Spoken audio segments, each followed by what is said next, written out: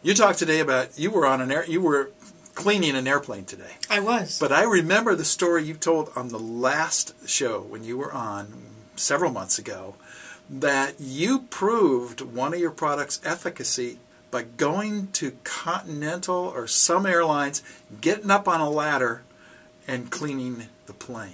Can you? Do you remember that? We How actually did. it? We had we had huge help again by a, a giant partner. Uh, very proud. We issued a press release uh, when when we when we issued our Grime Off product. They put me up on a uh, a stair lift to go up and clean the the um, waste from the tail engine. That's the black marred area of the tail of the 737. Uh, with our grime off wipe, I, I cleaned that all off with a two or three strokes of my hand. Today, I was testing another uh, formulation out on a hubcap of a 737.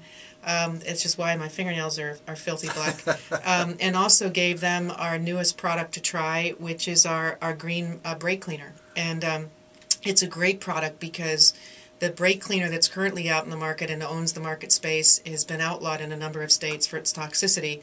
So we're right at the cusp of being a market leader again, which I'm really very proud of my company for. So out there at front, creating something non-toxic in a space where people are being injured by the toxic chemistry use. And so my friends uh, at Continental, again, um, a, a great place for us to, to trial our product and, and see it go to work. So yeah, that, that's, that's where I was today.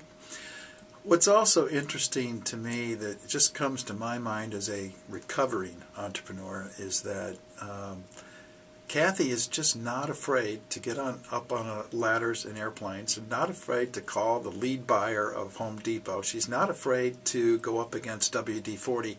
She's a very typical entrepreneur. She's just not afraid of anything. And after he, she sells her company, she's still getting up on airplanes promoting her products and her new products that have come out.